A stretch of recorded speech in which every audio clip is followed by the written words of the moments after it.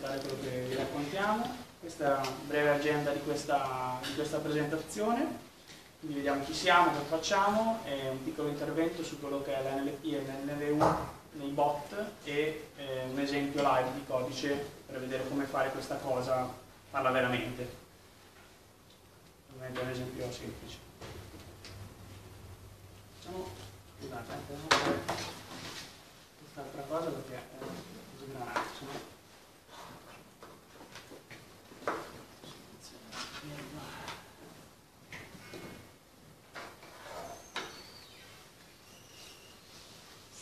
Meglio. Meglio, vero? Eh, ok. Assist è una società americana, eh, qui vedete il team tecnico che è praticamente tutto italiano, perché siamo uno è qui in sala con noi che sta facendo finta di niente però era seduto, un altro ragazzo di Napoli che non è riuscito a venire stasera, questo sono io. Qui in fondo invece vedete la foto dei tre founder di questa società, dei quali uno è italiano, un ragazzo al centro italiano, quindi una buona componente italiana all'interno della società. Poi con noi lavora un altro ragazzo che è francese e adesso stiamo assumendo altre persone, però insomma siamo partiti così. Eh, che cosa facciamo? Cioè, Assist è una società che fa chatbot, abbiamo iniziato nel 2015, eh, abbiamo preso una prima deriva eh, nostra interna, quindi facevamo un nostro assistente personale al quale si potevano fare diverse richieste eh, per diversi ambiti di utilizzo. A fine del 2015, inizio 2016 invece abbiamo preso una deriva leggermente più corporate, in questo momento facciamo chatbot per grossi brand. Eh, grossi brand eh, tipo Sephora, non so se conoscete un marchio di, di, cosme, di cosmetici eh, direi abbastanza famoso. Lonely Planet, abbiamo portato Lonely Planet su Google Home, un 800 Flowers è un altro cliente grosso, è più o meno l'equivalente di Interflora però scalato sul mercato americano, stiamo lavorando con eh, l'ONU per un chatbot per aiutare i rifugiati della, della striscia di Gaza, abbiamo fatto Fandango, insomma altri clienti di questo, di questo calibro qui e siamo partner con i principali player di questo mercato, quindi Facebook, Google e Twitter. Partner nel senso che veramente collaboriamo con loro in maniera stretta, ci chiedono di testare nuove, nuove cose che non hanno ancora rilasciato, eh, portiamo clienti per casi d'uso sugli stage delle conferenze che fanno, siamo stati eh, presentati all'ultimo F8 da l'ultima conferenza di Facebook che è stata fatta ad aprile, uno, uno dei bot che è stato presentato, quello di 800 Flowers, l'abbiamo fatto noi. Quindi siamo abbastanza attivi nel, nel settore. E che cosa vediamo oggi? Oggi siamo venuti qui per raccontarvi eh, che cosa vuol dire dare a un bot la capacità di comprendere il linguaggio naturale. Quindi che cos'è il linguaggio naturale? Eh, L'NLP, una sigla che sta per Natural Language Processing, è la scienza che studia e che mette le macchine in condizione di comprendere il linguaggio naturale, quindi il linguaggio delle persone, e di rispondere utilizzando il linguaggio naturale. È un cappello abbastanza ampio che raccoglie appunto queste tecnologie. Noi nei nostri chatbot tipicamente utilizziamo invece una sottoparte che è l'NLU, cioè ci preoccupiamo di capire che cosa l'utente ci sta chiedendo, perché poi le risposte sono bene o male strutturate. E quindi c'è questa piccola distinzione da tenere in considerazione. Oggi vedremo come fare NLU. Ok. Come lo facciamo noi dentro Assist? La nostra architettura è suddivisa in, eh, in due parti, sono quelle in blu, quindi abbiamo una sorta di motore che si preoccupa di colloquiare con, con l'utente, quindi riceve eh, richieste e manda risposte e nel momento in cui ci serve eh, utilizzare una risorsa esterna abbiamo una, una seconda componente del nostro, del nostro, stack che si preoccupa di fare la richiesta verso l'esterno.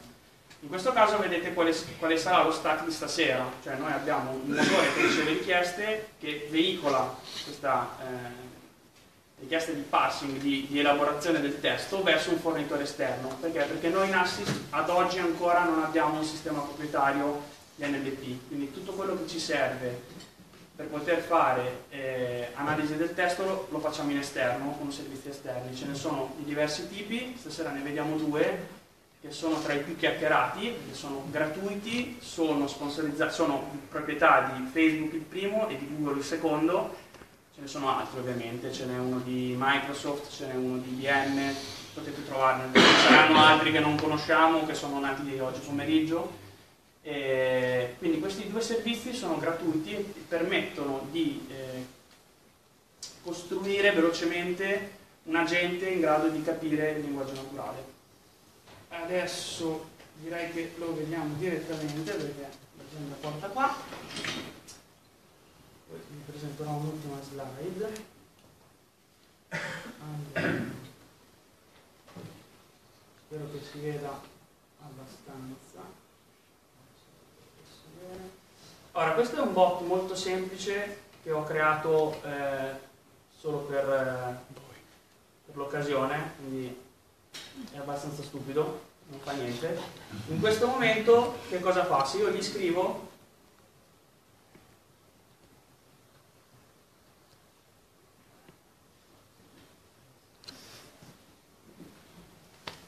lui semplicemente mi fa il pappagallo, cioè mi ripete, mi ridice quello che sto facendo perché non sta capendo. L'unica cosa che sa fare oggi è prendere questo messaggio e mm. mandarmelo indietro.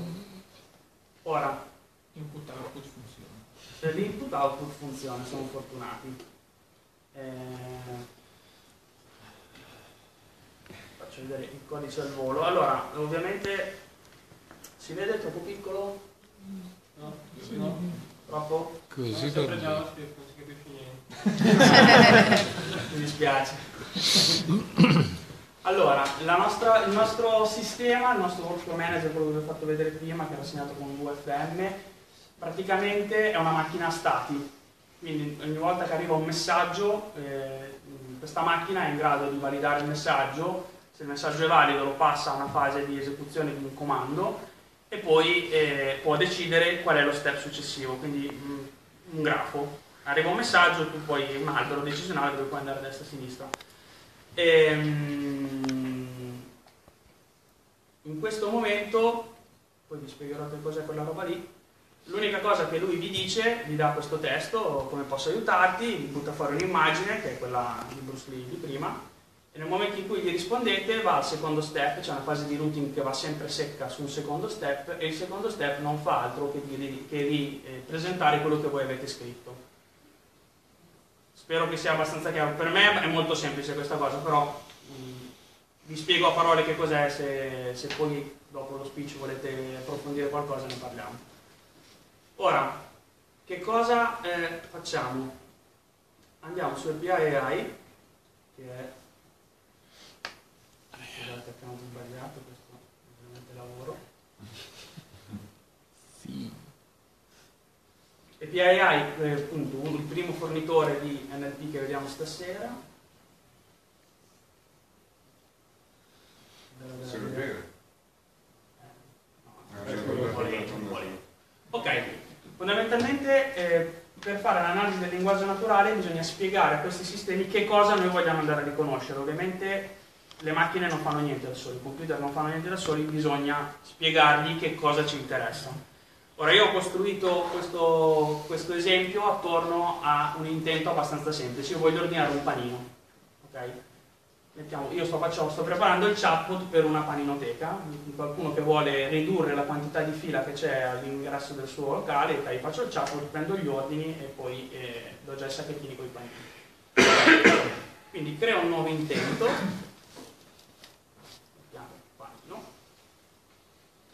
e poi che cosa faccio? Eh,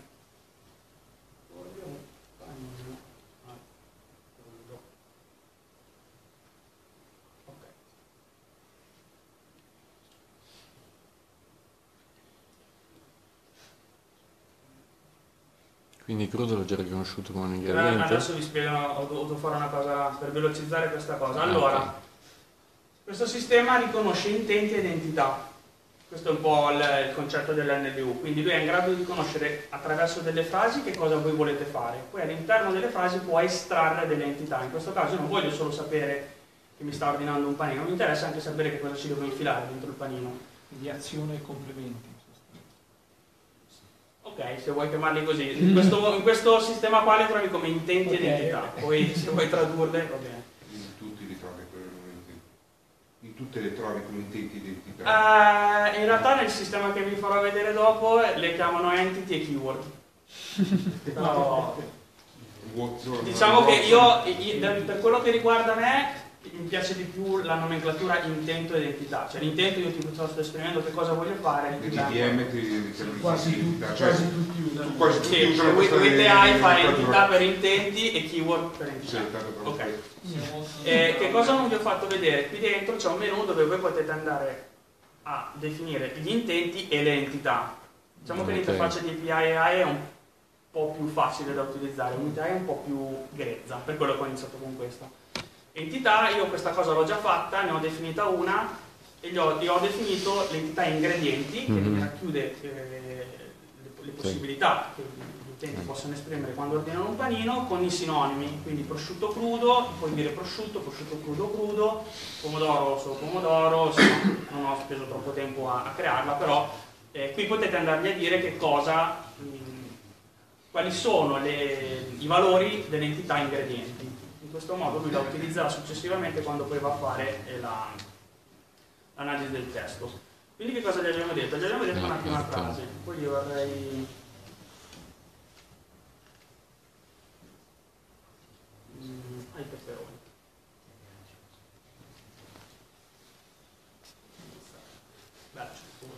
Non gliene fame così. allora, che cosa posso fare? Io posso andare a dire di riconoscere più eh, di un'entità, cioè nella mia frase ci può essere più di un'entità.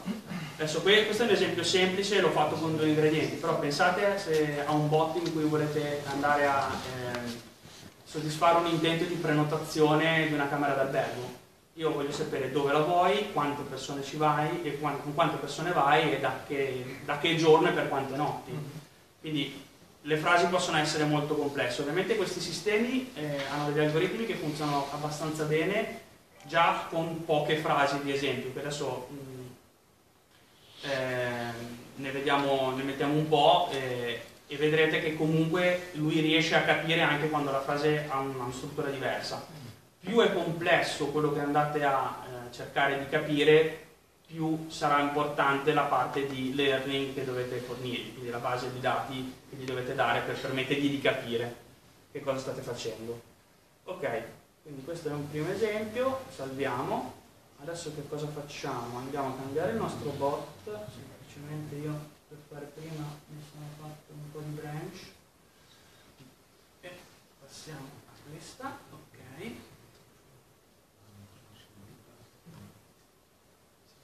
Allora, io che cosa faccio adesso? Nella nostra architettura c'è un, uh, un, pezzettino particolare che abbiamo chiamato dispatcher, che è un qualcosa che interviene ogni volta che arriva una richiesta. Questo perché poi alla fine vi farò, vi, posterò, vi farò vedere il link di un articolo interessante su questo argomento. La gente tende ad utilizzare i bot nello stesso modo in cui pensa, quindi magari vai al, dal paninaio e gli dici, ah vorrei un panino cotto e mozzarella. Bene, cosa ti do da bere? Una Coca-Cola, però no, non ci metti il cotto, mettici il crudo. Certo. Ok, questa cosa mm, in un albero vi farebbe tornare indietro, no? dovreste rinavigare indietro. E per gestire eh, questo genere di eh, mm. feature noi abbiamo introdotto un, un, qualcosa che chiamiamo dispatcher, che praticamente si pone davanti a ogni nodo del nostro albero decisionale ci permette di andare a intercettare questi salti nella navigazione. Quindi che cosa fa fondamentalmente questo signore qui in questo momento? Qualsiasi richiesta che gli arriva, che non inizia con underscore, underscore vi spiegherò perché, la considera una richiesta in linguaggio naturale, è abbastanza stupido come codice, però qualsiasi cosa gli arriva con, con, senza l'underscore davanti, per lui è linguaggio naturale, quindi cosa fa? Gira questa richiesta al servizio di NLP. Quindi cosa fa? Semplicemente saltiamo allo step dove chiamiamo l'NLP, po' più in basso, che è qua sotto, e che cosa facciamo? Al di là della criticità del codice, eh, andiamo a fare una chiamata al servizio di API AI. API AI si espone delle, delle API REST, API AI, che ha l'API, è un po' un gioco di parole, però l'hanno chiamato così, eh, quindi semplicemente queste quattro righe di codice che cosa fanno? Impacchettano una richiesta e fanno una get verso il sistema API AI. Questo elabora la nostra richiesta e ci ritorna un JSON che rappresenta la risposta dell'elaborazione del testo. A quel punto noi il testo lo prendiamo e semplicemente lo spariamo fuori come se fosse un messaggio. Quindi vedremo direttamente sulla chat che cosa ci manda API AI. Quindi arrivo qui e vi dico ciao. Chi saresti un panino crudo?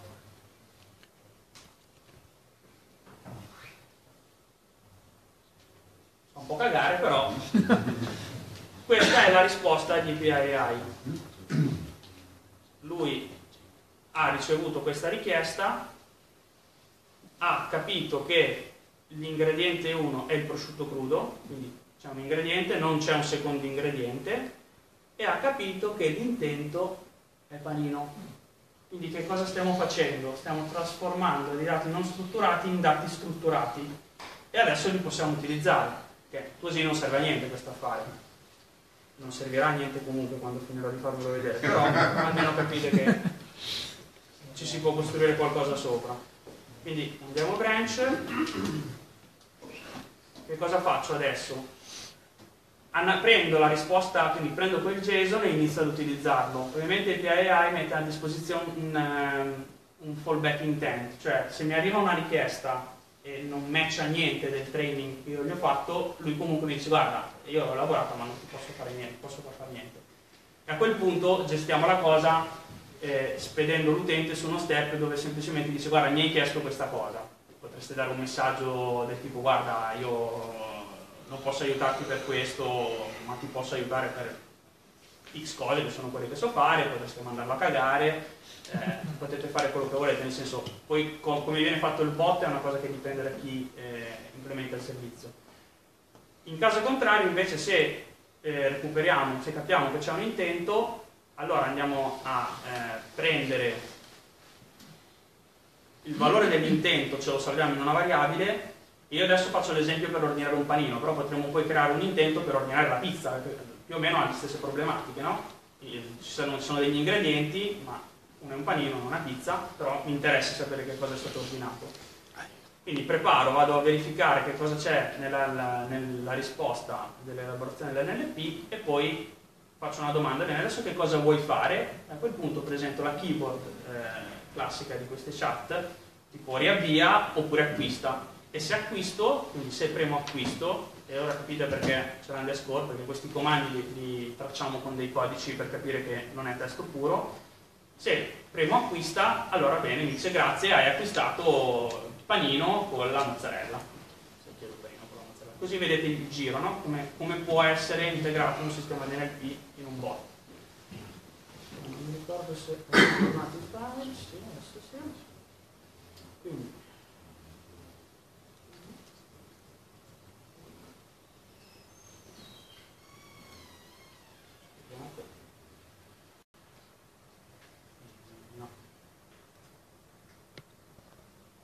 non mi butta più fuori il dato, ha gestito l'output dell'NLP, mi dice cosa vuoi fare adesso? E dico ok lo voglio comprare.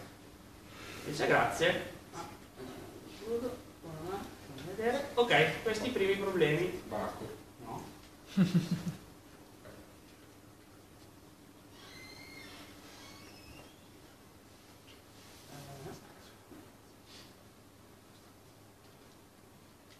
probabilmente avevo un bug nel mio codice.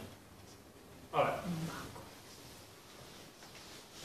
Andate qua, andate qua, dentro, bisogna andare qua dentro e vedere dov'è che non ho salvato il secondo ingrediente, perché evidentemente non l'ho salvato da qualche parte.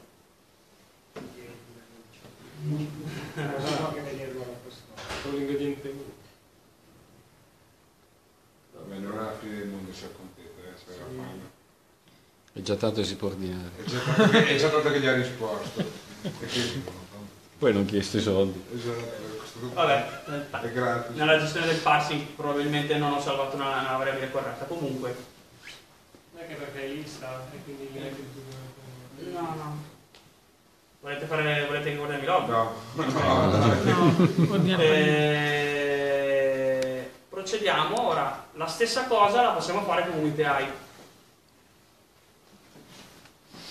Ma, ma tutto era con programmazione JavaScript, giusto, se ho visto bene?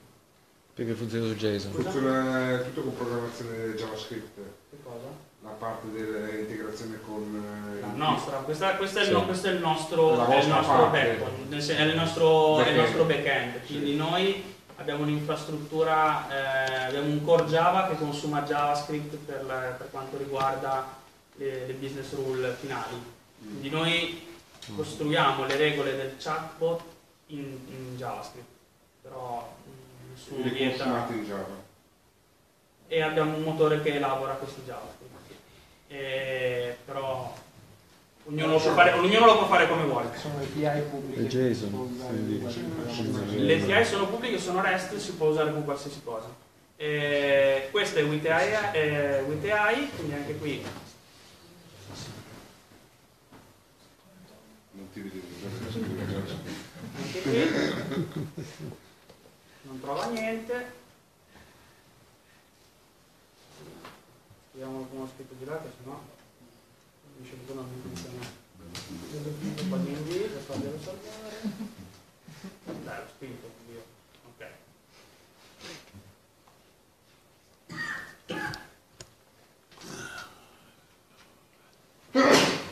Salute.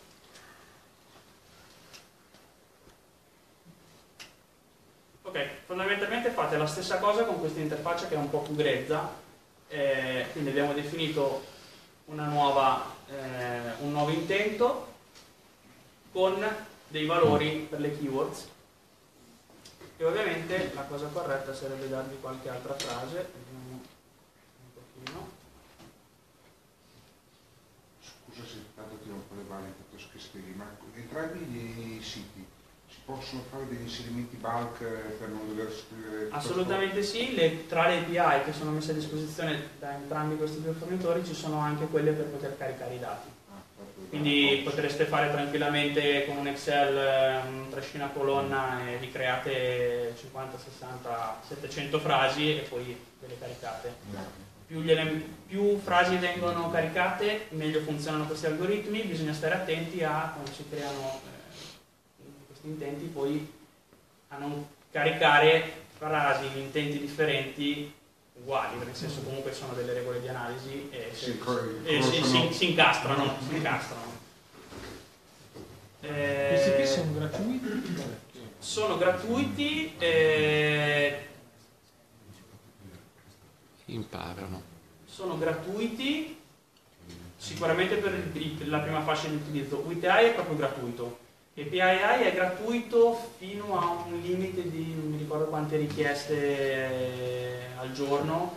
Se superi determinati volumi li devi chiamare, mh, come fa solitamente Google, cioè te lo fa, ti fa un limite di cortesia dove tu lo puoi usare per un progetto medio, piccolo, non ti chiede niente, però se sei la Coca-Cola magari due soldini te li chiede. Ehm, anzi, e PII era- era- aveva un limite fino a qualche mese fa. L'ultima review che hanno fatto delle, delle, mm, delle condizioni di utilizzo probabilmente hanno... Bisogna leggere perché cambiano queste cose. Eh, inizialmente sicuramente era anche abbastanza basso il limite di PII. Infatti noi abbiamo iniziato con WITI quando abbiamo iniziato a fare queste cose in America. Scusate, però c'è anche un problema che bisogna dire fino in fondo. È vero che sono gratuiti queste cose, però bisogna dire che poi eh, cioè Google e, Facebook, che sono i proprietari di questo, si vogliono tenere tutti i tuoi dati e tutti i tuoi chatbot. Quindi c'è, una problematica di Sì, harbor. stiamo parlando di training di questa parte qui. Sì, Certo, però la secondo me la differenza sta tutta nel, nel che cosa volete fare, cioè se lo fate per fare un esperimento, cioè è, è un po' è fatica avere la botte piena eh, certo, no. Ma eh, mio della voce dubbio- quindi se volete partire veloci con questa cosa qui avete visto in 5-6 minuti, pronti via, hai un bot che capisce che cosa gli stai dicendo. Se non ti stanno bene le condizioni di utilizzo, ti puoi creare più o meno la stessa cosa che hanno creato loro. Ci sono un sacco di librerie in giro per poter fare NLP. Ovviamente c'è da pagare il costo di crearsi il sistema da, da zero da soli. No, perché cioè, il, il dubbio che ho io è che se tu hai delle grandi aziende come clienti, Noi tendenzialmente, abbiamo grandi aziende come eh, clienti. tendenzialmente non credo che la grande azienda accetti questo.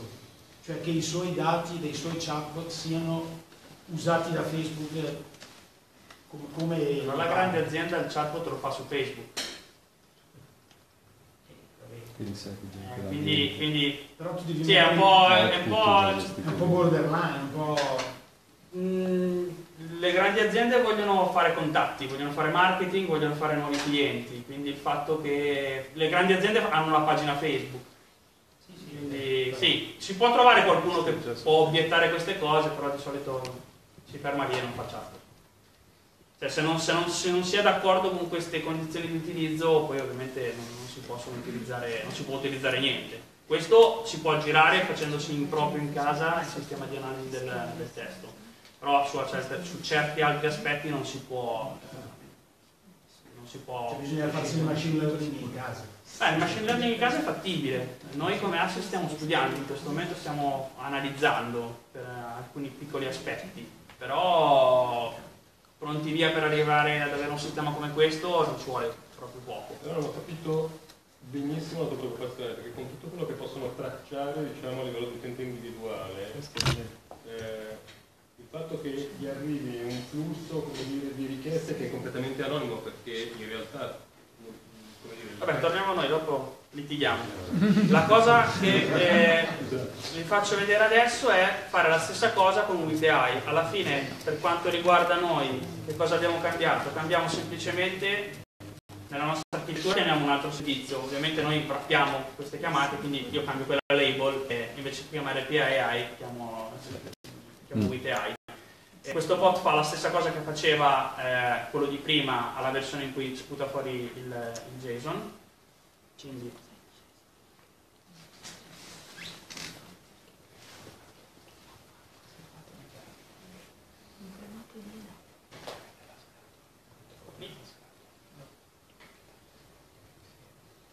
Ok, quindi WTI mi risponde, ha capito che voglio un panino, eh, ha capito che voglio il panino e i peperoni e in realtà mi sta anche dicendo guarda io l'ho capito che tu vuoi il panino e i peperoni, occhio però che tu i peperoni non mi hai istruito, io l'ho dedotto, quindi ti sto suggerendo che i peperoni sono ingrediente.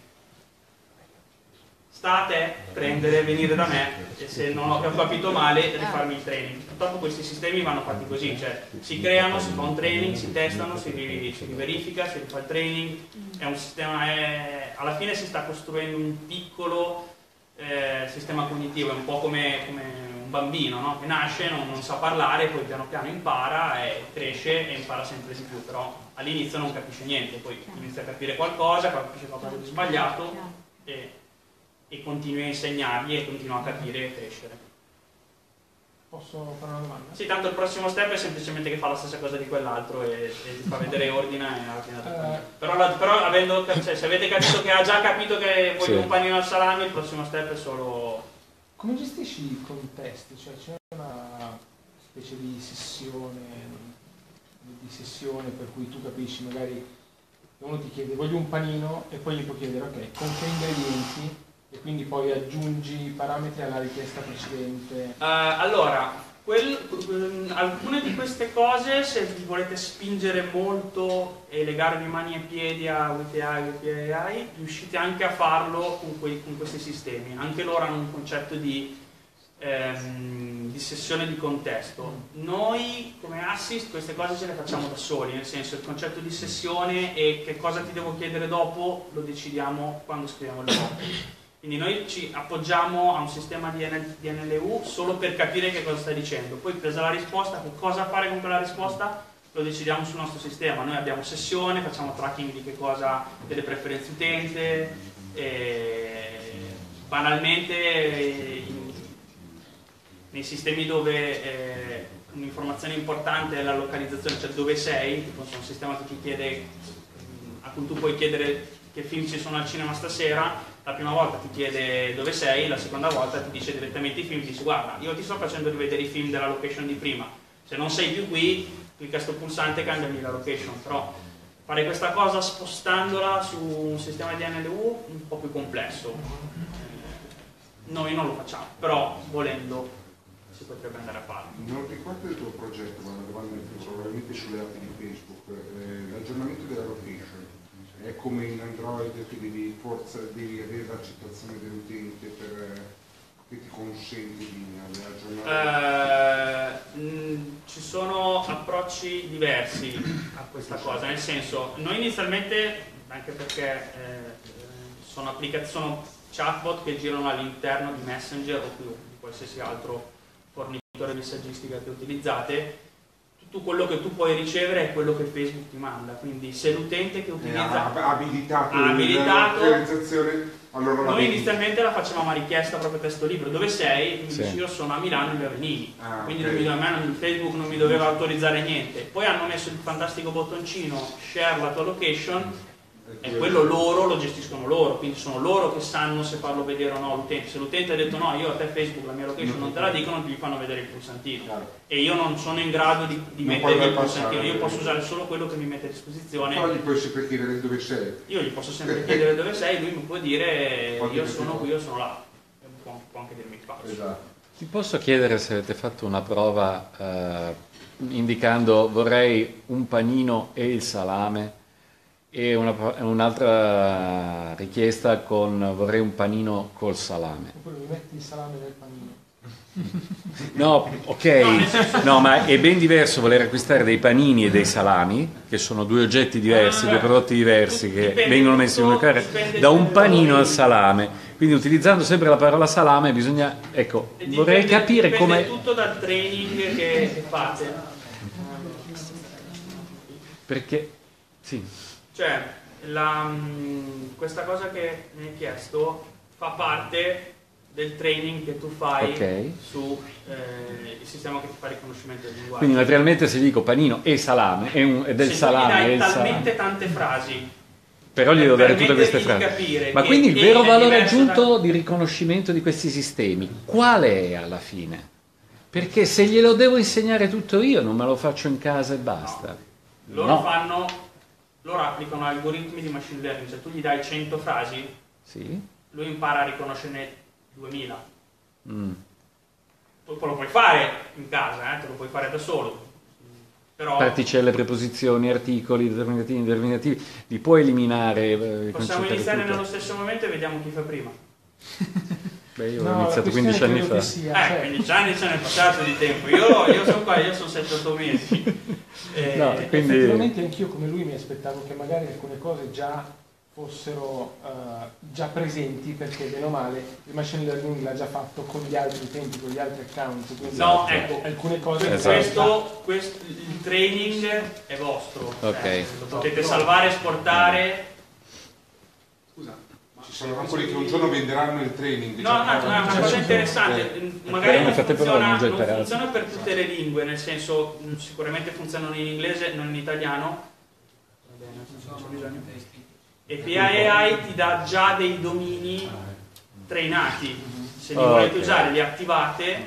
Tipo, non Eh. so, fate un. eh, Pa, pa, pa, state pa. facendo un, un chatbot che, che richiede orari e date. Chiaro. Non, non vi fate il training Ok. per chiedere orari e date. Attivate qua. E lì chiaramente sulle date c'è qualcosa di diverso dalla semplice mappe, navigazione, punti di interesse. Ci sono alcuni contesti già pronti che potete solo attivare. Ovviamente queste cose mm, in lingua inglese, Vabbè. in italiano le dovete fare, eh, però poi vi deve andare bene come lo fanno loro. Certo. Però sicuramente potreste eh, velocizzare il, il training iniziale di quindi questi un'applicazione. bundle non fanno altro che aggiungere degli Hanno, utenti hanno già, e- esatto, loro hanno già una serie di intenti dichiarati che tu non vedi, semplicemente loro ti dicono ok, tu attivi questa cosa, io, la- io- io ti sto aggiungendo al tuo, alla, alla, mm, alla tua base di conoscenza altra conoscenza che non hai fatto tu, ma te la do io perché ce l'ho già pronta, l'ho già fatta per 100.000 clienti, so dove li prendono questi altri, magari veramente vanno a vedere cosa fanno gli altri. poi- Eh, questo è il valore aggiunto rispetto a farlo in casa. Sì, però ti devono andare bene questi. Perché poi se, se invece di voglio un panino dici vorrei un panino, lo capisce già di default o devi attivare uno di questi domini? Allora, qui, allora, vediamo. Allora, qui gli abbiamo detto mi va un panino, voglio un panino, ok? Poi si può fare un test al volo, vorrei un panino, Alfredo. vorrei è diverso da voglio, e l'ha capito, intento panino. questo perché hai fatto il training prima o... No, il training, i training che vedi sono quelle due frasi lì. Ok. Quindi è piuttosto eh. Per provare il panino. Oggi ho proprio voglia di un panino, lo capisce? Sono algoritmi semplici, nel senso, la, la loro semplicità gli permette di baguette. essere molto potenti. Se gli metti il Se gli baguette che cosa se non c'è la parola panino dentro. ha fatto il Napoli ieri, e mi hanno consigliato di non scrivere come test, non l'ha capito. Va in default col back intent, cioè questo non riesce a capire. Cosa ha fatto il panino Forse ieri? crudo, vorrei un crudo. No, scrivi cosa ha fatto il panino ieri. Vorrei uno col crudo. Vorrei uno col crudo. Cioè, scusa la, la cosa proprio... Non ci arrivo. Panino. Eccolo. Perché- Però non ha preso gli ingredienti. Perché è solo per Vabbè. l'intento. quindi- Ok. Ok. panino. Mal che vada c'è il panino. Però attenzione, un'altra cosa che mi si può andare a fare quando si fa il training è anche andargli a dire Sì, poi questa parte è utilissima. questo cosa ha fatto il panino ieri hai sbagliato. Ok? Ok. Che il training non è solo additivo. Certo. Ovviamente eh, avete visto che mettendogli due frasi già iniziava a capire qualcosa. Cioè, già funzionicchia. Mm, due frasi sono proprio poche. In base alla vostra esperienza, quante frasi di questo genere bisognerebbe dargli? Allora, per intenti semplici una ventina. Per intenti più complessi 200, 300. Ma io credo che dipenda anche dalla quantità di intenti che hai, perché se hai solo un intento, Bisogna stare molto attenti a non creare delle strutture in cui le regole vanno in conflitto, perché poi quando vanno in conflitto... eh, ha fatto uno speech, eh, non mi ricordo come si chiama, l'altra volta, eh, italiana, Alessandro Vitale. Ok? E ha detto una cosa intelligente, cioè quando fate questa cosa è molto importante il test, cioè tu costruisci qualcosa, fai 10 intenti, fai tutto il tuo training, funziona benissimo, bene, dopo due giorni ne aggiungi 5, magari ne hai spaccati altri 3. Quindi è molto importante continuare a fare il training, ma a fare i test e verificare che tutto continui a funzionare come prima. Non è, fa- cioè, non è, non è difficilissimo iniziare, bisogna stare attenti quando lo si fa. Il fatto di ignorare l'ultima frase che hai insegnato, Sì? Eh, è possibile farlo anche tramite l'AI, in batch, quindi in blocchi. Se io ho sul mio DB milioni di frasi che voglio ignorare, quindi devo dare un ripasso. Non l'ho mai fatto, ma lasciami dire si potrebbe andare a vedere la documentazione che sta qua, però si fa parecchio. Si fa parecchio. È tutto documentato, potete... Vabbè. Penso che si possa fare una get e poi un update eh, per andargli a dire che cosa, che cosa ha sbagliato. Ma invece una diciamo, possibilità di autoapprendimento del contenuti nella, in quella di, nell'interpretazione del Zina c'era per suggested, no? Eh, c'è la possibilità di, di aggiungere delle regole eh, diciamo in maniera automatica in base a suggerimenti per la tool. Non potrebbe essere rischioso senza un controllo umano, perché lui fa statistica. Quindi lui dice, statisticamente io ho capito che il peperone è un ingrediente e te lo sta dicendo, l'ho capito io. Poi si possono ignorare tutte queste cose e prima o poi scoprire che il sistema non funziona bene, la cosa ideale sarebbe ogni tanto andare a verificare che cosa sta capendo e andargli a dare una mano. Perché se lo lasciate lì mh, lui non fa niente, cioè, non ha- cioè, costruisce statistica, però poi se è sbagliata continuerà a sbagliare. Ci sono strumenti che permettono di mettere insieme un certo stile di comunic- comunicazione con un certo dominio di conoscenza. Cioè, immaginiamo che io inserisco nel mio bot un dominio di conoscenza, non so, del vendere frutta e verdura. Però voglio che il mio bot comunichi in un certo modo e utilizzando quella conoscenza. Cioè, stai parlando di come produce le risposte? Sì, esatto. Allora, noi le risposte, eh, ne avevo parlato anche quest'estate quando siamo venuti al primo evento che è stato fatto qua, eh, le costruiamo sempre su dei template preconfezionati. Cioè, noi non applichiamo tutto l'NLP per costruire anche le risposte, perché questo vorrebbe dire veramente avere una confidenza con questa tecnica molto forte, perché rischi che ti costruisca delle frasi strane, cioè eh, magari grammaticalmente corrette ma senza senso. Puoi farlo, noi la cosa che facciamo per dare la parvenza che sia più intelligente di quello che è, magari costruiamo 10-15 risposte per, la- per lo stesso intento e poi le diamo random. Poi se tu gli continui a chiedere la stessa cosa 10 volte, per le prime 15 ti dà risposte diverse, dopo un po' continuare a chiedere stesso. Però se provate a chiamare un call center e gli fate 10 volte la stessa domanda, secondo me la terza vi mandano a cagare. Quindi è già un, un buon Diciamo passo, un passo avanti, potrebbe essere considerato un passo avanti.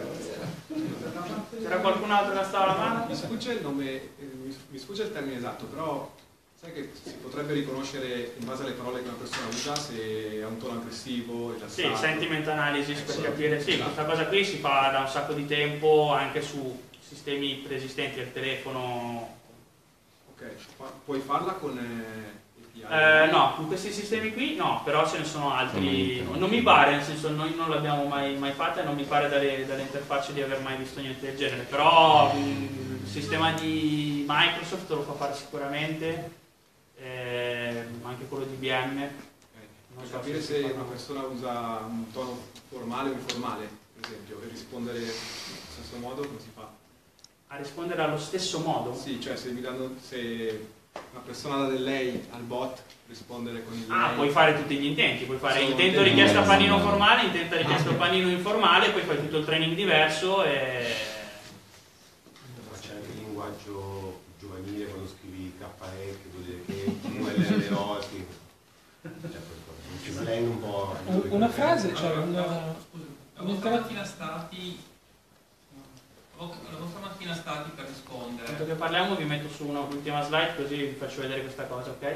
La nostra macchina stati? per rispondere quindi, quindi in un dialogo che quindi può essere anche eh, chiedere delle domande aggiuntive per disambiguare alcune espressioni tipo il Sì, panino sì, sì, sì, e questo lo fate voi non lo fate tramite bot Esatto. La- mh, nel bot che stiamo facendo per le Nazioni Unite per i rifugiati c'è un qualcosa del genere, cioè mh, riconosciamo l'intento che può essere avere delle informazioni riguardo so, alle scuole disponibili nel, nel paese di destinazione dove sto andando e a quel punto l'intento di richiedere informazioni sulle scuole potrebbe avere eh, necessità di avere informazioni in più, tipo ok, di che nazionalità sei o che lingua parli.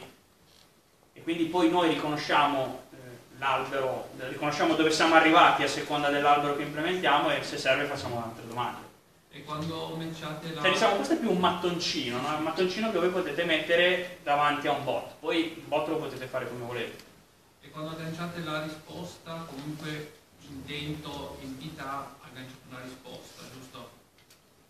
Quando- Sì, può essere solo intento, l'entità può essere solo un dettaglio, oppure intento e entità possono rappresentare cose e diverse. lo fate comunque in modo statico non usate qualcosa di di reinforcement learning o qualcosa di Noi oggi facciamo tutto templating, quindi risposte, abbiamo dei template di risposte già pronti che a volte possiamo andare a, a completare con dei dati, tipo no, hai ordinato il panino, panino può essere una, una variabile all'interno di un'etichetta già pre- preconfezionata, però ancora non ci siamo spinti nel costruire con NLP delle risposte.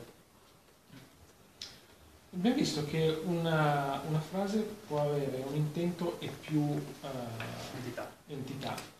Una frase può avere anche più intenti, cioè si possono Sì. riconoscere più intenti alla stessa Sì. Sì. Il training è più difficile. Eh sì, immagino. Cioè, vi- più vi spingete in là con cose complesse, più diventa complesso. E, e vi, e mi riaggancio a quello che dicevo prima, più diventa un po' difficile fare test e fare garanzia di, di, di retrocompatibilità, cioè di, di, di- non è retrocompatibilità, però non mi viene il termine, cioè che non spaccate quello che... Non regressione. Non regressione. Non regressione. Eh, sì, in realtà ho dentro tre domande. La prima è se mai, se hai mai usato Luis, No, non l'abbiamo... In realtà l'ho mh, fatto una login una volta, però poi è stato bello. E, Pigrizia. e poi se, cioè, una volta creato diciamo, questo motore di MLU su questo quello che ti ritrovi in mano è integrabile solo che ne so, sulla chat di Facebook. No, no, no, no, no. Voi, avete un, voi avete un endpoint, quindi una- un indirizzo, potete anche farlo da browser.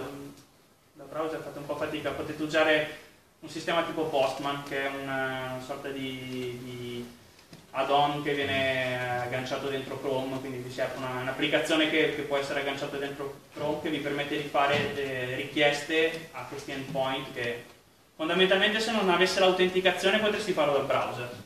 Eh, Se la chiave di autenticazione fosse uno dei parametri, semplicemente scrivere nel browser e vedere la, richiesta, la, la risposta. Però il parametro è un parametro di header, quindi o impari un pochino a, a giochicchiare col browser. È un API REST. Ma quando lo pubblico? Sì, cioè, dopo che ho fatto il chatbot e lo voglio pubblicare, posso mettere, eh, si apre direttamente da, da Chrome, no? No, no, no, no. Io intendevo, intendevo il eh, with AI e, PII, cioè quello che vi danno è, oltre a un'interfaccia grafica col quale fare il training, vi mettono a disposizione delle API per poter chiamare il loro servizio e, e fare quello che io ho fatto Ah, prima, cioè quello che vi ho fatto vedere nel momento in cui arriva il testo.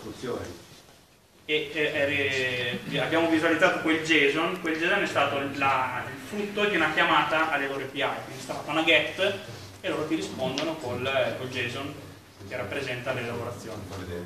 Vabbè, e l'ultima poi, mh, fatta questa parte di, diciamo, di NLU, eh, voi usate, mh, per, le- per la parte proprio di NLP, usate qualcosa di vostro, c'è qualcosa di simile? Cioè, che ne so, se io voglio disambiguare dei sinonimi, immagino che sia una disambiguazione che sta nel metodo Sinonimi per, la, per la- il valore della stessa entità.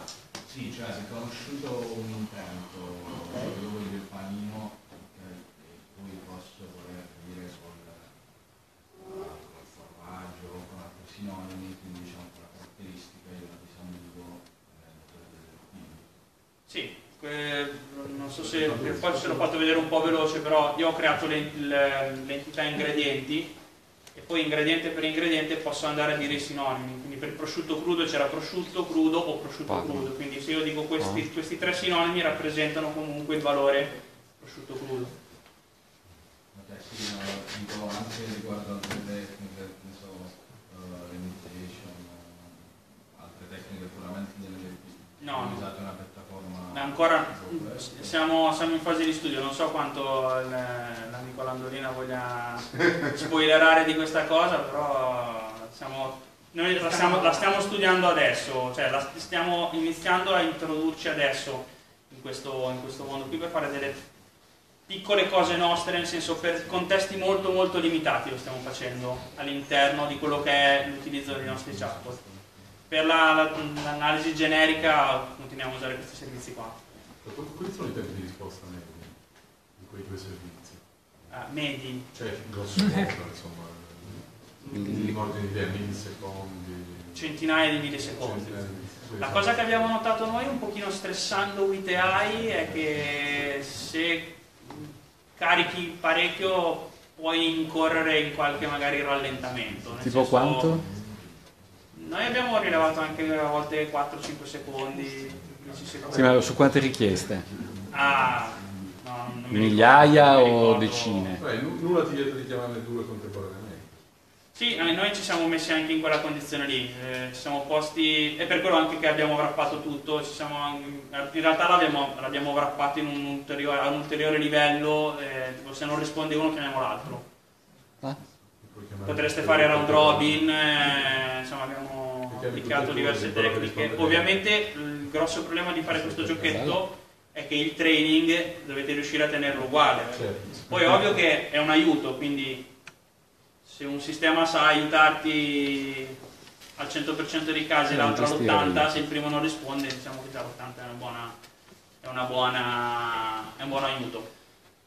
Col fatto che ci sono le API anche per eh, introdurre nuove, ehm, nuovi valori di, di casi delle frasi, potete anche, eh, se siete bravi, ok, li utilizzo in round robin tutti e due, poi quando rilevo qualcosa di nuovo lo trovo anche di là.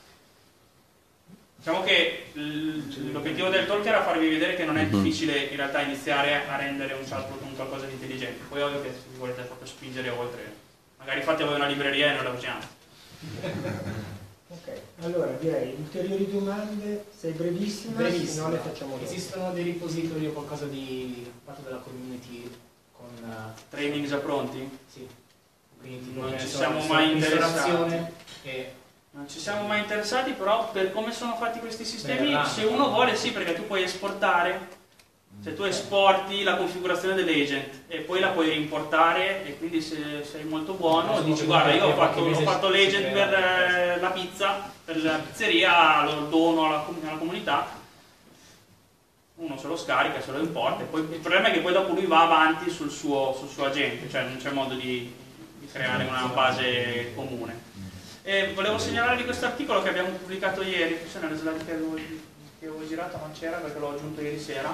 Questo articolo l'ha, pubblicato il nostro SEO ieri pomeriggio, tardi, che da allora era mattina, e parla proprio di quello che vi ho accennato prima, cioè una cosa che loro hanno chiamato RAN, Random Access Navigation, cioè il fatto che la gente all'interno di, di un, di un albero decisionale in cui faccio quattro domande, magari alla terza domanda cambiano idea e ti danno una risposta sulla prima domanda che tu gli hai fatto.